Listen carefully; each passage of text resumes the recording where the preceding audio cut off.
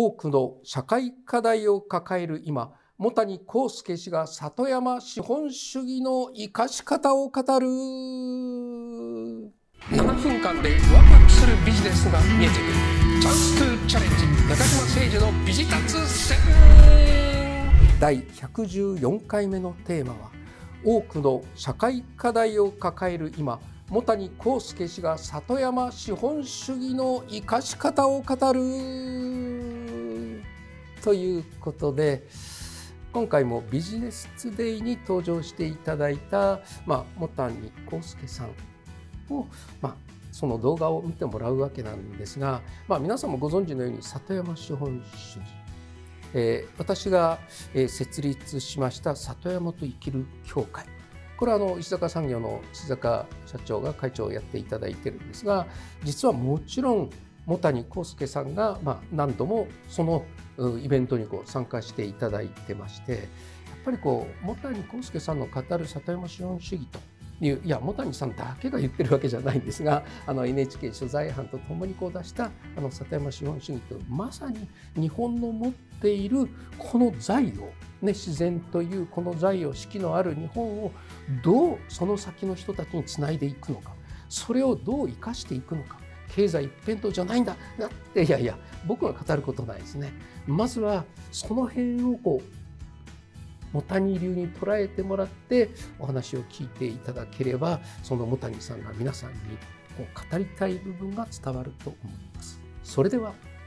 どうぞ。ただねあのドイツはご存知の通りその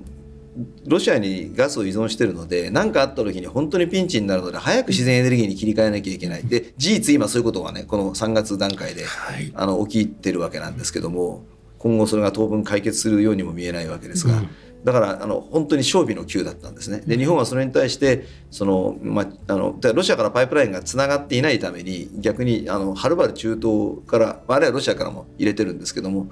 東南アジアからも入れてる。あちこちから遠くわざわざ運んできて金かかるのに入れてるシステムを作ってる分、え実はピンチ危機感がない。うん、えー、まあ、そういうようなことなんですが、えー、斉藤さんのおっしゃってるその、えー、人申請の話、えー、ヨーロッパにおけるもうあの知識人および若い人たちのね将来をぶち壊しにしやがってという危機感をものの上で体現した本なんですが、うん、えー、まあ、あのもう資本主義システムでやってる限り必ずこういうねあの、やったふりしてよそにそのコストを付け替えると、はい、要するにあのどっかで処理したふりをしてどっかにゴミを埋めてると、うん、いうことを繰り返して結局地球全体ではどんどん変にやったアリバイをすればするほどかえって壊れるんじゃないの、はい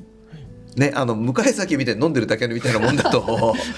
向かい酒を飲むとかえってその二日酔いを忘れるかもしれないけど3日酔いになるだけですということをまあ斉藤さん一言で言うと言っている。はい、でそれに対してですね里山資本主義って資本主義なんですか脱資本主義なんですかってあちこちで聞かれるようになりまして、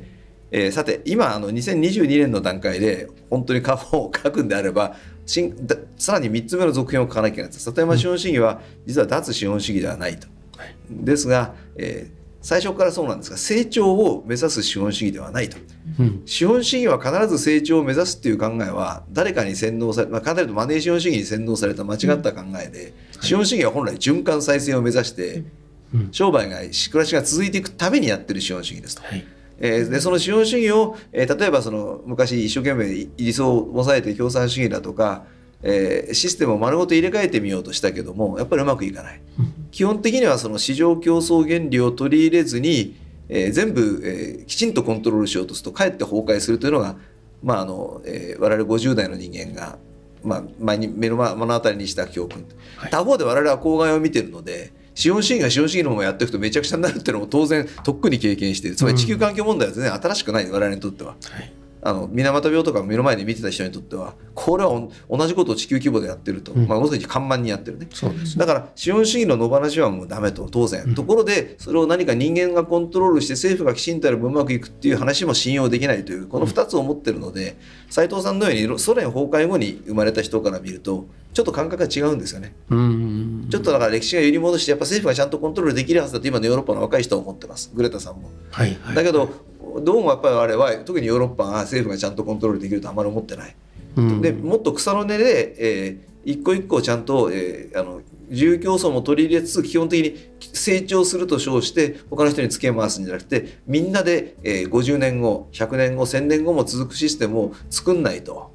あの資本主義が地球を滅ぼすよねということはもう分かってるわけです。うん、だからその脱成長の、えー、循環再生を目指す資本主義ですというのは里山資本主義。うん、でちなみにこれがあちこちで言うと成長を目指さない資本主義なんてあるわけねえだろって言うと人間って本当洗脳に弱いんですよね。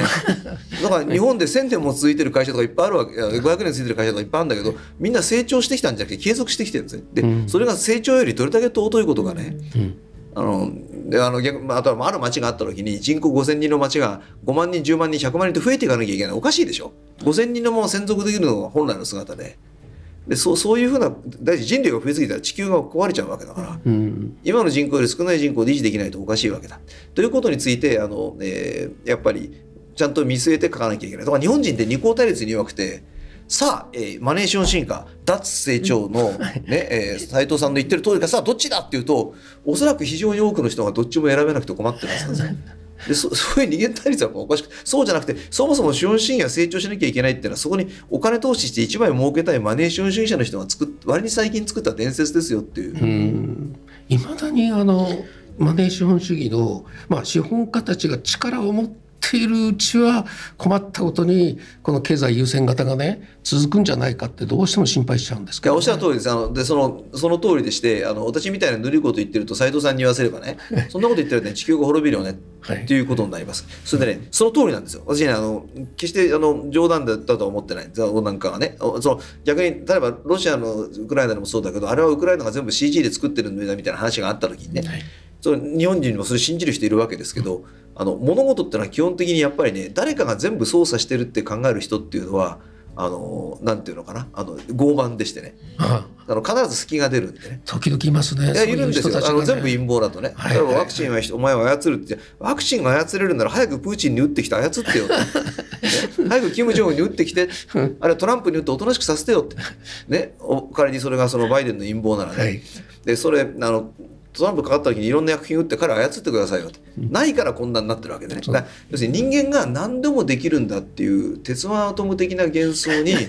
その囚われてるんですね。でそれ、ほとんどその偶発で物が動いていていじれるものはない、はい、つまり変にその CG で焼けたビルを作るよりも実際焼けたビルを打つ方が100倍早いわけですよ、はい、そのうち彼らは原爆ドームも発泡スチロールで作ったって必ず言い出す、まあ、すでに言ってるかもしれない、うん、だそういうそういう難しいこと言う前に最初からずっとそこにあってそういうもんなんですっていうことをまず理解することからスタートしなくてはいけない。それでと、えー、同じように考えると地球環境は本当にやばいんですが、うん、ところでそれをそのそれを防ぐために、えー、政府が強力に規制をするのはもちろんした方がいいけどもコントロールした結果そのきちんとうまくいくか多分間に合わないんですよ。うん、間に合わない